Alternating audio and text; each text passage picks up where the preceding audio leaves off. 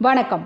பாரதி செய்திகளுக்காக செய்திகள் வாசிப்பது உங்கள் உஷாராணி உடுமலை அருகே சிறு குறு விவசாய சான்றிதழ் வழங்க ரூபாய் இரண்டாயிரத்து ஐநூறு லஞ்சம் கேட்ட கிராம நிர்வாக அலுவலரை லஞ்ச ஒழிப்புத்துறையினர் கைது செய்தனர்.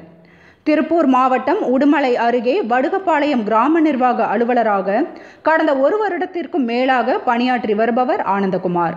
இவரிடம் அதே பகுதியைச் சேர்ந்த விவசாயி திருமலைச்சாமி என்பவர் சொட்டு நீர் பாசன மானியம் பெற சிறு குறு விவசாய சான்றிதழ் கோரி விண்ணப்பம் தந்துள்ளார். விண்ணப்பத்தை பெற்றுக்கொண்ட கிராம நிர்வாக அலுவலர் ஆனந்தகுமார் சான்றிதழ் வழங்க ரூபாய் இரண்டாயிரத்து ஐநூறு லஞ்சமாக கேட்டுள்ளார்.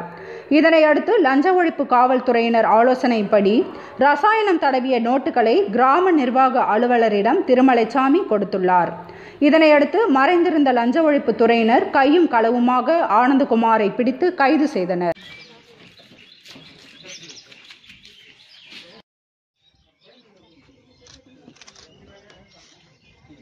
ஏங்க? மதி. மதிட்டு வாங்க இந்த பக்கம் இருக்கு. இந்த இருக்கு